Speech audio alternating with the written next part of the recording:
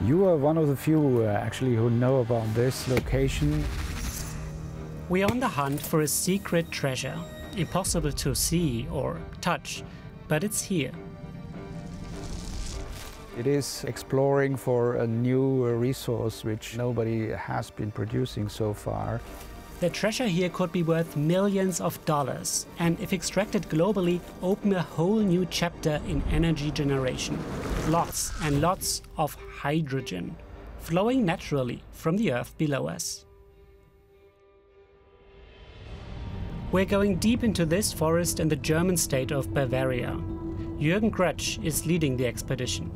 He previously worked in the fossil fuel industry. Now he's a researcher in geoenergy. And this is his map to buried treasure, a geological survey of Bavaria. And we are trying to find the places uh, where hydrogen comes uh, from deep sources uh, to the surface. Uh, so uh, let's go and uh, sniff for hydrogen. Two of his students are coming with us because the sniffing is tough work. The decent ha size hammer pretty decent. Yeah, you will see we'll need that. Uh. the treasure hunt is pretty straightforward. Hammer a hole in the ground, one meter deep. That's the tough part. Insert a gas sensor. All right, let's go. Connect it to the measuring device and wait. A very good location. Uh, yeah, you can see the value going up now to 500 ppm, above 500 ppm. So uh, these are very significant concentrations. 500 ppm means 500 parts per million, so 0.05% of all the gas in this sample is natural hydrogen. It doesn't sound like much, but it's 1000 times more hydrogen than in the air around us. And it indicates that deep down here there might be a lot more of it. Grötsch and his team say they've taken dozens of such measurements in this forest. In the first sample they took, there was so much hydrogen that the device couldn't display it anymore. All they know is it's a lot, and that could mean they are sitting on a jackpot. Hydrogen. Hydrogen. Hydrogen. Hydrogen. Or hydrogen. Has become the favorite word of many politicians and CEOs. They say it's the best way to decarbonize industries that need a lot of energy, like steel making or heavy transport. Right now, most of that energy comes from burning fossil fuels, because that provides the high heat that's needed. So does burning hydrogen. But instead of CO2 emissions, it leaves behind just water. Demand for hydrogen is projected to at least triple by 2050. That's because it's expected to play an important role in helping companies lower their emissions. The thing is just, so far hydrogen has to be made, which again requires energy. This graph shows costs and carbon footprints of different kinds of hydrogen. Grey hydrogen is made by burning natural gas, black and brown hydrogen by burning coal. All these, as you can see, are fairly cheap, but also dirty. Almost all hydrogen is currently made from fossil fuels. We use it as a feedstock in industrial processes like refining petroleum or making fertilizer. If we want to use it as a clean fuel though, we need a clean way to make it. Green hydrogen is made from renewable energy like solar and wind, but it currently makes up less than 1% of all hydrogen produced, because it costs more to make. Bottom line, producing hydrogen is either cheap but dirty, or clean but expensive. Enter natural hydrogen, also called geologic or white hydrogen. Made not by humans, but by the Earth itself to show us how, Grötsch takes us to one of the deepest human-made holes on the planet. It was drilled from the 1980s to 1990s by the German state to better understand Europe's geology. The drilling stopped at 9,101 meters. Core samples were brought up and stored here.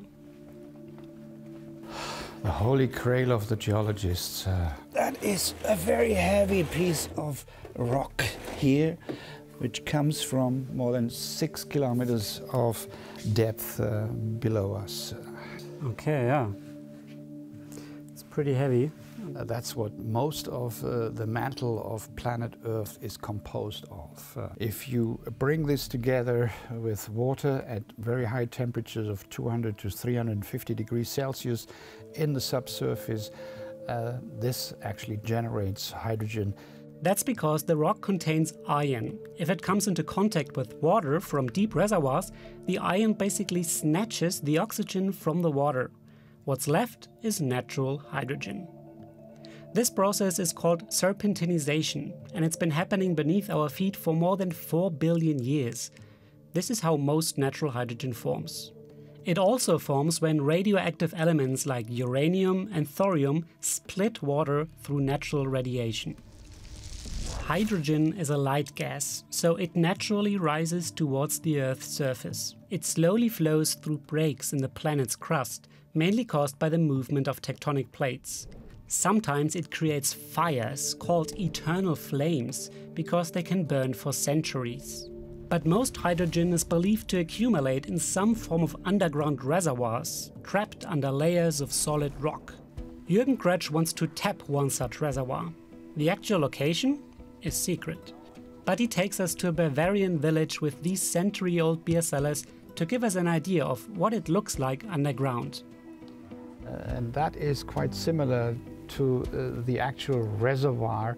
We are expecting 1,000 or 1,500 meters uh, uh, deeper in the subsurface. It is actually sandstones which are very porous. And these pores can contain hydrogen. His plan is to source hydrogen from such a reservoir five years from now. It works just like extracting gas or oil.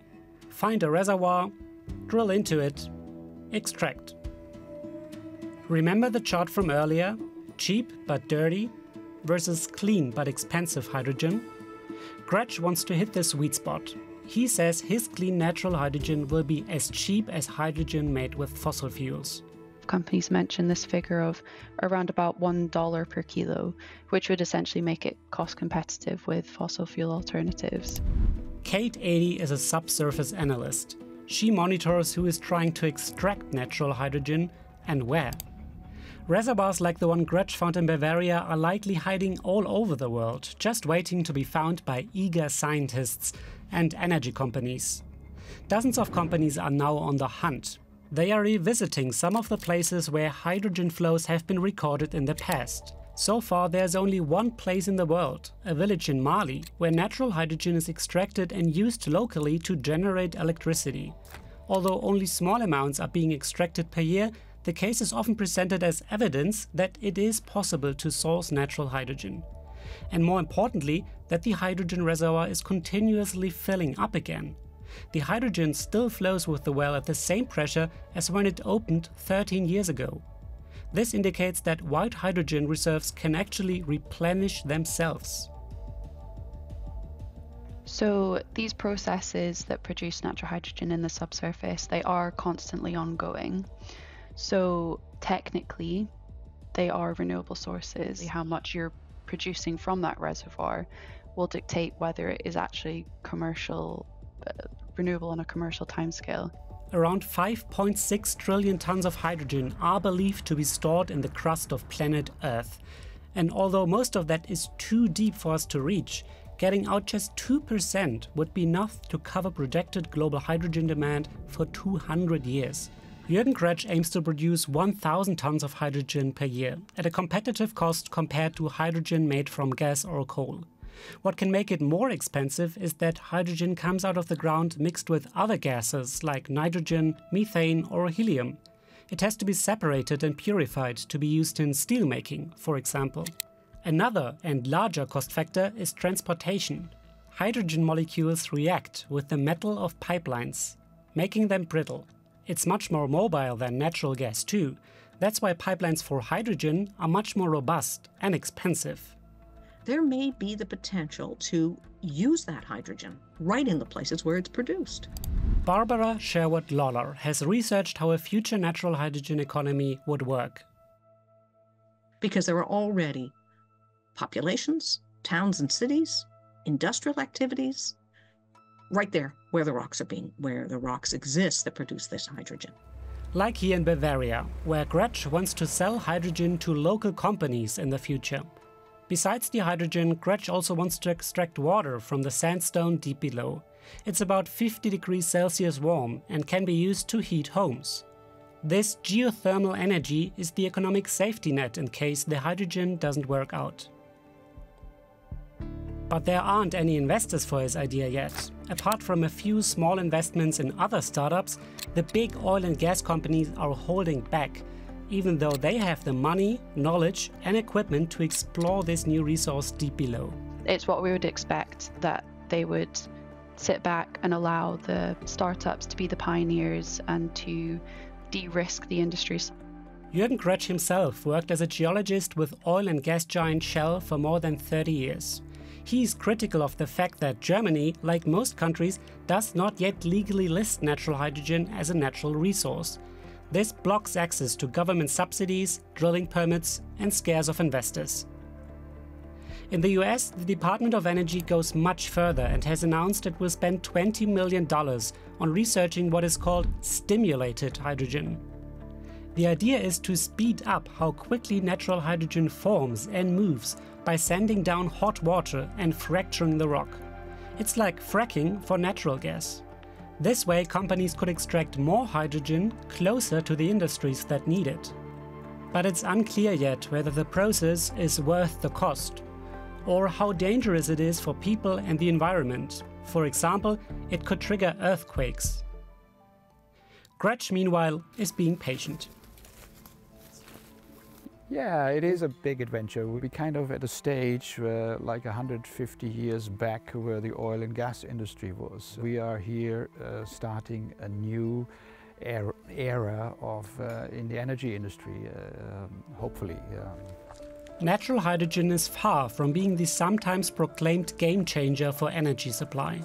The big investments and often laws too are lacking, and no large reservoir has been found yet although many are on the hunt.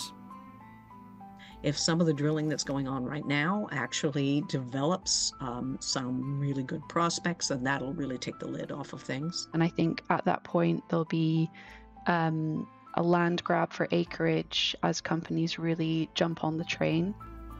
If that happens, 17 million tons of natural hydrogen could be produced per year by 2050, according to Wood Mackenzie, the research organization Kate works for. That would only be about 5% of the hydrogen needed. So, no relying on the idea that planet Earth can deliver cheap, climate friendly hydrogen all by itself. Did you know there's hydrogen right beneath our feet? Let us know in the comments below, subscribe for more videos like this, and check out dw.com for more stories.